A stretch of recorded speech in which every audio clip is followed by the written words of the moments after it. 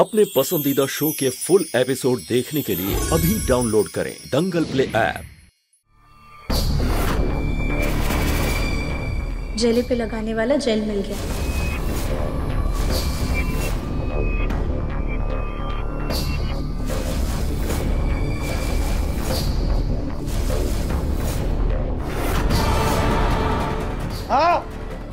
क्या कर रही हो राधिका। मैंने तुमसे कहा ना कि कुछ नहीं हुआ है। फिर भी तुम्हें दवाई लगानी थी इससे और जल रहा है मुझे। जलन? पर जलन तो नहीं होनी चाहिए। एग्जैक्टली exactly नहीं होनी चाहिए लेकिन हो रही है ना राधिका।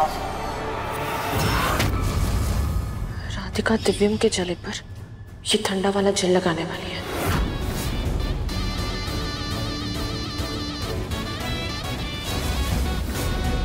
अब इस ट्यूब में ठंडा वाला जल नहीं बल्कि सरदर्द वाला बाम होगा। जिससे दिव्यम को और जलन होगी और राधिका की शामत आएगी।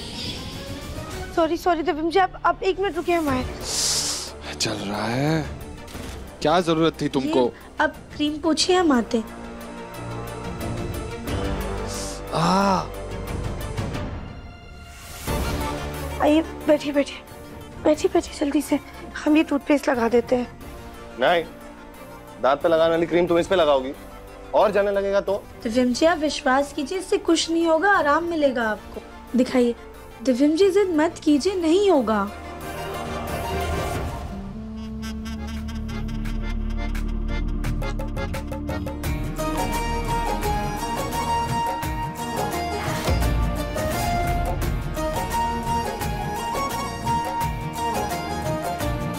अभी ठीक लग रहा है? ये पहले करना चाहिए था ना?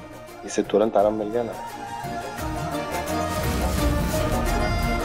ये टूथपेस्ट तुम्हारा रामबाण है ना? कपड़े खराब हो जाए। टूथपेस्ट हाथ जल गया। टूथपेस्ट जी, इस टूथपेस्ट के तो बहुत सारे फ़ायदे होते हैं। आपको पता है?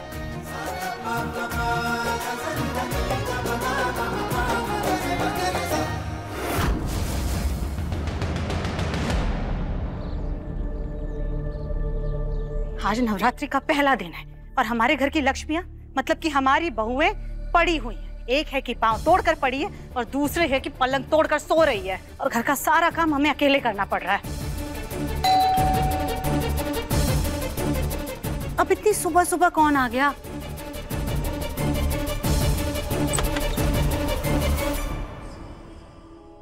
नमस्ते। अनुराधा जी आप फिर से?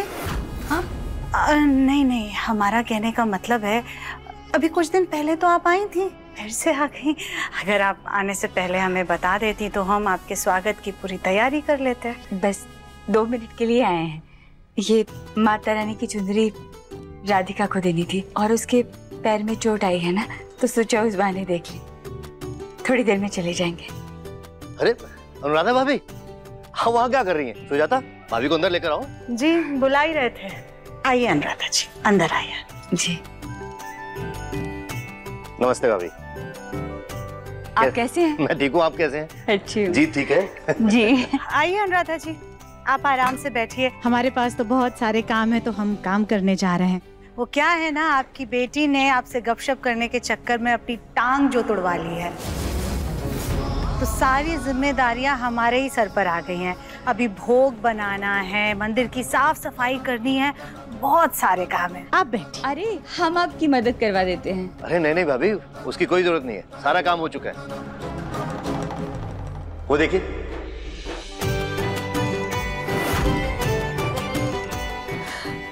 मम्मी राधिका कैसी है आप?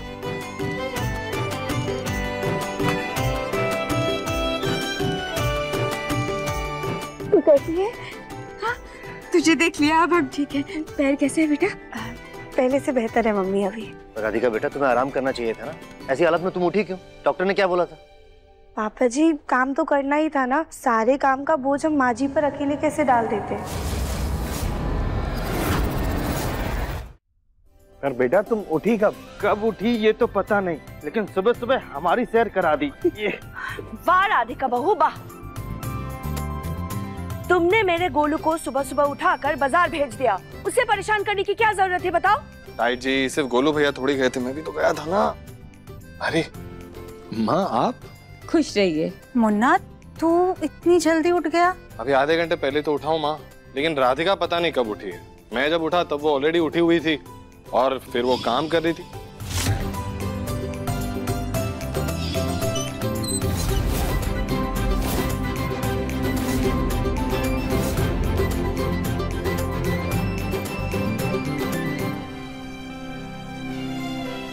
क्या कर रही हो तुम राधिका टिफ़िन जी आज नवरात्रि का पहला दिन है ना तो बहुत सारा काम था बस वही कर रहे थे।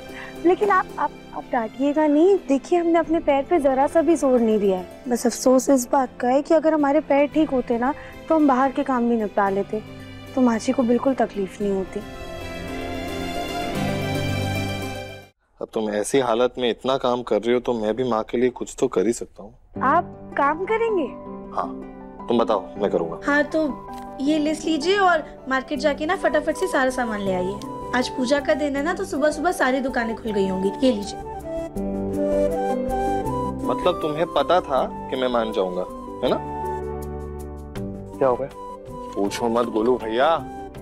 चलो आज मेरा मन है आपको सैर सपाटे पे ले चलता हूँ। इतनी सुबह सुबह कहाँ?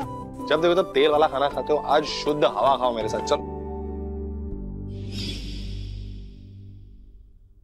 राधिका मुन्ना ऑफ़िस का काम देर रात तक करता है इसलिए वो देर से सोकर उठता है। लेकिन तुमने उसे सुबह सुबह उठा दिया और काम पर भी लगा दिया। बाज़ार भेज दिया तुमने उसे।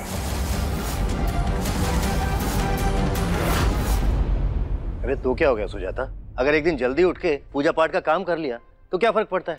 दोनों ने थोड़ा पुण्य कमा लिया। सच राधिका बेटा तुम जैसी बहुएँ घर को मंदिर बना देती हैं।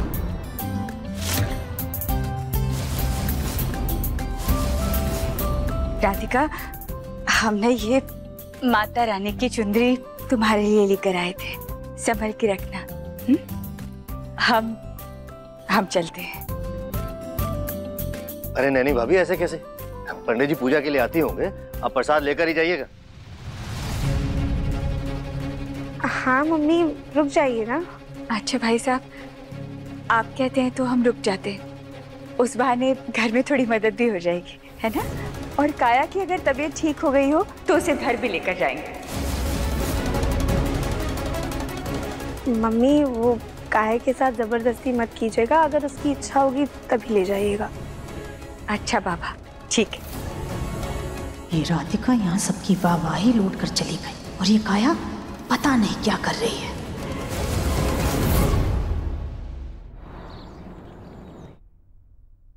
राधिका? काया अब ठीक है ना? हाँ मम्मी। क्यों? नहीं बस ऐसे ही।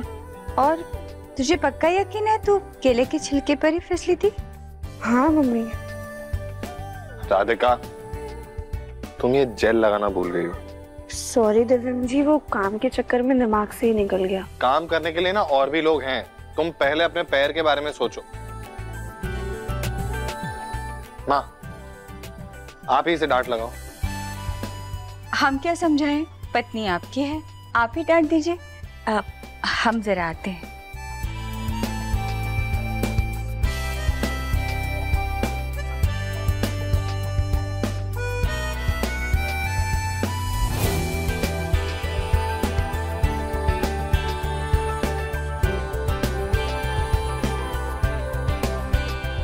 अच्छा लाओ। मैं भी ये फूलों से माला बनाता हूँ। नहीं नहीं दिव्यम जी ये माला मोटी सुई से बनती है। आपको लग जाएगी आप नहीं कर पाएँगे। अरे कुछ नहीं लगेगा। लाओ तुम मुझे सिखा देना मैं बना दूँगा। मैं बहुत फास्ट लर्नर हूँ। ये लीजिए। अब इस धागे में ना एक एक फूल को पिरोना होता है ऐसे। ओके ये तो बहुत ही आसान है। हमने आपसे बोला था ना आपको लग जाएगी। दिखाइए। सुनते नहीं है आप बिल्कुल भी। अप्रैल फूल राधिका नहीं लगा।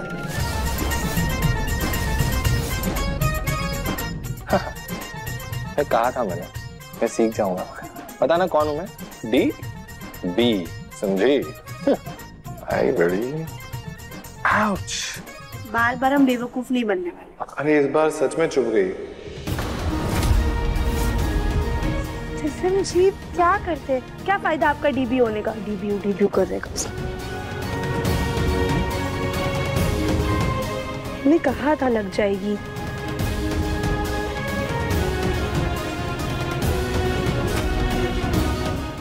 अब देखिए मन अति सुंदर दंगल प्ले पर टीवी से पहले।